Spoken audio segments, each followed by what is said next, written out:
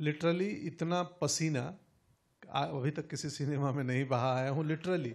इस फ़िल्म ने और अटल जी के व्यक्तित्व ने मुझे बहुत बदला है पिछले छः महीनों में। रियल लाइफ की बात करें तो पॉलिटिक्स में कितना इंटरेस्ट रखते हैं आप?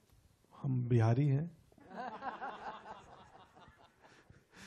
यही उत्तर है। हाँ मैं तो छात्र संगठन में था और मैं आंदोलन भी किया हूँ एक हफ़्ते जेल भी रहा हूँ। तो मैं उस रास्ते पे निकल चुका था। मैं लिटरली इतना पसीना अभी तक किसी सिनेमा में नहीं बहा आया हूँ लिटरली। बहुत तकलीफ़ होती थी। खून भी बहा है वो दिन तो खून पसीने से बनी हुई फ़िल्म है। और दूसरी चीज़ कि वो रिसर्च में ये तो मे, लिटरली मेकअप और मैंने शूटिंग की पार्ट बताई। मैं इतना पढ़ चुका हूँ अटल जी के बारे में कि मैं शायद इस फ़िल्म से बड़ी एक किताब भी लिख सकता हूँ। मैंने जितने उनके बारे में किताबें लिखी गई हैं जो जो रिटेन मटेरियल मिला जो जो इंटरव्यूज़ मिले पुराने, भारत के अलग अलग जर्नलिस्टों का, सब देख चुका हूँ। और कुछ ऐसी किस्से और कहानियाँ मैं समझ गया हूँ उनके व्यक्तित्व को। इस फ़िल्म ने और अटल जी के व्यक्तित्व ने मुझे बहुत बदला है पिछले छः महीनों में। मैं ये सम, क्या बताऊँ, मैं भीतर से लोकतांत्रिक हो गया हूँ, सिर्फ़ बाहर से नहीं। ये असर हुआ है मुझ पर hello sir Jaya from Bollywood now sir ये जो बॉडी लैंग्वेज थी आपकी इस मूवी में इस ट्रेलर में वो किससे सीखा आपने? वो मैं एक्टिंग कर सीख के ही तो आया हूँ बॉम्बे। तो नहीं नहीं मैं तो खुद ही टीचर हूँ दूसरों को सिखाता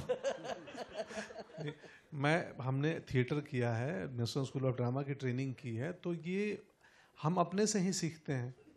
तो इस फ़िल्म में वो बॉडी लैंग्वेज मैंने खुद ही से सीखा है, तैयार किया है, क्योंकि इसमें एज भी है। पच्चीस साल, बीस साल से लेके और मैं एट्टी एट्टी फाइव तक जाता हूँ। तो वो भी थोड़ा सा ध्यान तो रखना पड़ता है, किस साल का सीन चल रहा है। मेजरली तीन लुक में हमने डिवाइड किया है फ़िल्म को।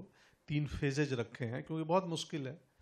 तो थोड़ी थोड़ी उसमें हम बतौर एक्टर प्रयास करते हैं कि जब, क्या हो बॉडी लैंग्वेज और अगेन मैं बिगनिंग में बोला कि कितनी इमिटेशन हो, नकल हो, या कितनी मिमिक्री हो, या कितना उनके विचार को पकड़ें कि वो व्यक्तित्व क्या थे, उनका सोचने का तरीका क्या था, उनका। तो वो मिमिक्री, इमिटेशन कम है, व्यक्तित्व ज़्यादा है, कि आप अटल जी को सिर्फ़ शारीरिक रूप से ना समझें, अटल जी को वैचारिक रूप से थॉट के रूप से, उस आत्मा को समझें। वो हमने प्रयास किया। और अगर रियल लाइफ की बात करें तो पॉलिटिक्स में कितना इंटरेस्ट रखते हैं आप? हम बिहारी हैं।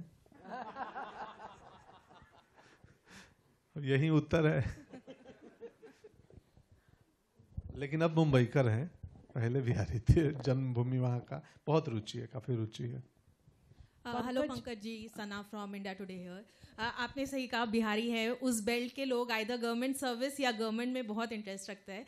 आपने कहा कि जब आप नहीं जानते थे कि आप अभिनेत्र बनेंगे, कभी सोचा था कि पॉलिटिक्स या एटलीस्ट आई बनने का सपना था? हाँ हाँ मैं तो छात्र संगठन में था और मैं आंदोलन भी किया हूँ, एक हफ़्ते जेल भी रहा हूँ। तो मैं उस रास्ते पर निकल चुका था। फिर थोड़ी देर बाद पता चला कि बहुत मुश्किल कांटे भरे मार्ग हैं राजनीति की। तो फिर मैंने वहाँ से यू टर्न लिया और स्ट्रीट थिएटर देखने लगा। और स्ट्रीट थिएटर से लेफ़्ट में कालिदास रंगालय था प्रोसेनियम थिएटर पटना का। उसमें चला गया और फिर मुझे लगा कि ये ज़्यादा बेहतर है। यहाँ कम से कम बोल के एक्टिंग होती है कि एक्टिंग में कर रहा हूँ।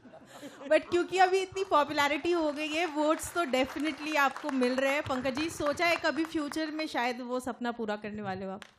नहीं अभी तक ये दुकान अच्छी चल रही है। पर नहीं आ, अगर आप पॉलिसी में ज़मीनी बदलाव चाहते हैं तो राजनीति में गए बिना संभव नहीं है। समाज सेवा से एक हद तक कर सकते हैं बहुत छोटे स्तर पे। पॉलिसी में बदलाव बड़े बदलाव के लिए राजनीति ही एक मार्ग है। दुनिया चलाने का अभी तक एक डेमोक्रेटिक वे ही एक वे है। एक और क्वेश्चन पंकज जी पूछूँगी कि आपने कहा कि काफ़ी चेंजेस आपके अंदर आए पिछले छः महीने में बट कोई एक क्वालिटी जो आपको लगा हो कि ये अटल जी के अंदर भी था और मेरे अंदर भी है जो एक सिमिलैरिटी आपको दिखी हो आप दोनों में? संवेदनाएँ, संवेदना में बहुत वो जो इक्यू जिसको बोलते हैं ना आप सब मॉडर्न भाषा में इक्यू हम लोग संवेदना उसी को बोलते हैं इमोशनल कोशेंट ना हाँ।